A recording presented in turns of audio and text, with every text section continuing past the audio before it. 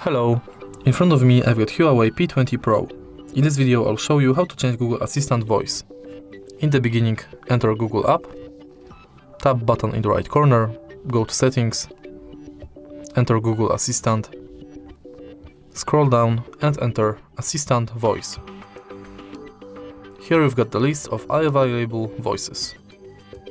Here are the voices you can pick for your Google Assistant. If you like this voice and want me to keep using it, just stop here. Just tap on the colorful ring to Here are set the the voices voice. you can pick for your Google Assistant. If you like this voice and want me to keep using it, just stop here. If you find this video helpful, please leave like, comment and subscribe.